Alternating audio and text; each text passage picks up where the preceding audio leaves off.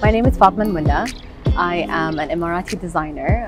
Being an artist is about having purpose. It's about solving a problem. In my case, I really wanted to highlight the traditions and the heritage and the love that I have for the UAE, but in a more artistic sense and in a more modernized way.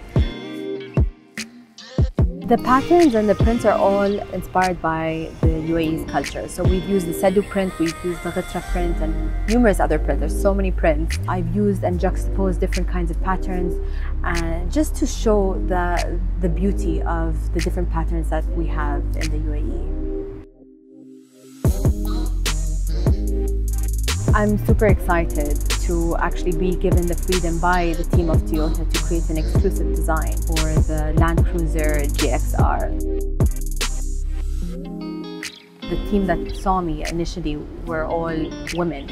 It was such a beautiful sense of also these women coming to me and saying, we want uh, to design, we want you to design a car that actually has more of a creative aspect to it, but also talks to women in general there's always this stereotype where, you know, driving a four-wheel car is only for men. And I think this will also attract different kinds of women